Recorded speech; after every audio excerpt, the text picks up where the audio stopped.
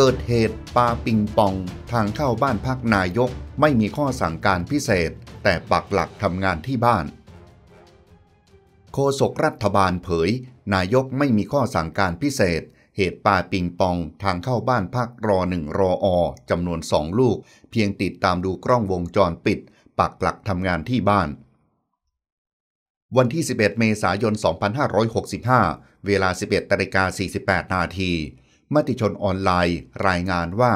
เมื่อวันที่ 11 เมษายน นายธนกรวังบุญคงชนะ โฆษกประจำนายกรัฐมนตรี เปิดเผยว่า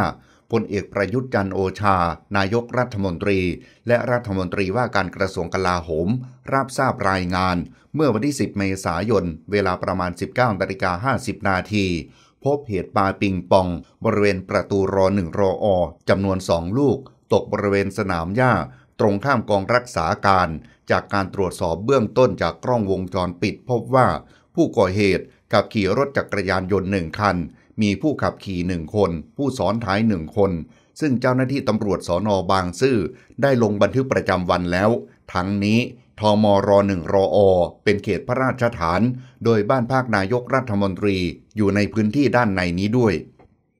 นายกรัฐมนตรีไม่มีความคิดเห็นต่อเหตุการณ์ และไม่มีข้อสั่งการพิเศษใด ๆ และมอบหมายเจ้าหน้าที่ตำรวจดำเนินการสืบสวนสอบสวนตามขั้นตอนต่อไป ทั้งนี้ยังทราบว่าช่วงวันหยุดในเทศกาลสงกรานต์นี้ นายกยังคงทำงานติดตามสถานการณ์อยู่ที่บ้านพัก เพื่อให้คำแนะนำหรือข้อสั่งการ หากมีความจำเป็นในช่วงเทศกาลสงกรานต์นี้ด้วยนายธนกรกล่าว โดยก่อนนี้เมื่อวันที่ 10 เมษายน มติชนออนไลน์ได้รายงานไว้ว่า วาสนานานุ่มสื่อมวลชนสายทหารได้โพสต์ข้อความใน Facebook ส่วนตัว ระบุว่า มือมืดเหิมปาปิงปองใส่รอหนึ่งรออ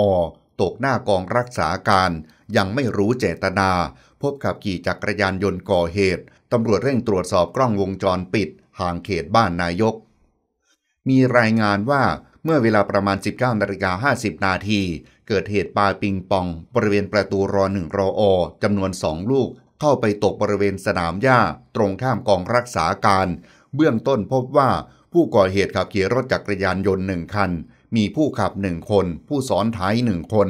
โดยตำรวจสอนอบางซื่อได้ตรวจสอบ และลงบันทึกประจำวัน และตรวจสอบกล้องวงจรปิดแล้ว